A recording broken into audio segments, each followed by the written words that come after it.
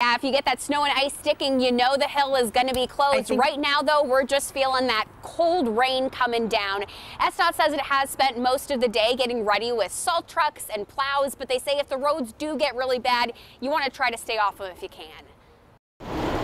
20 years in Seattle's Queen Anne neighborhood has given Richard and Susie Hecht a sense of community. This is our village. It's our little village, yes.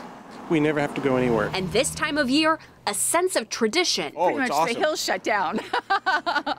So then we get out our cardboard boxes and we just slide down the counterbalance. This was Queen Anne Hill last year. Seattle eluded a white Christmas, but the day after brought a storm that put the region on notice. Undrivable roads delayed trash pickup. The biggest thing that we ask is patience. Uncleared sidewalks prompted police to think of people who rely on them. No, I'm stuck in the house again.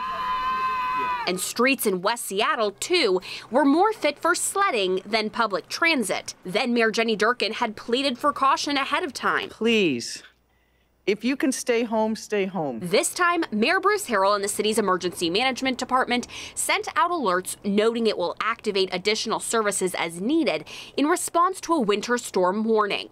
If snow piles up, trash could be delayed a day or more. Additional shelters are now open, and infrastructure staff will be on call 24 7 to respond to problems. Stay home if you can. Be safe.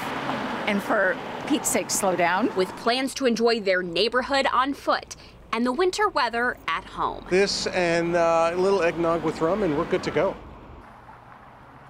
And that sounds nice. We actually just saw a bus go by with chains. One other reminder from the city is that sidewalks are the responsibility of the homeowner or business near that property. So they're asking people to make sure that you clear those. And you can sign up for alerts with the city of Seattle. We have a link that we can text you. Just text us at 206 448 4545. Live in Seattle, Erica Zucco, King 5 News.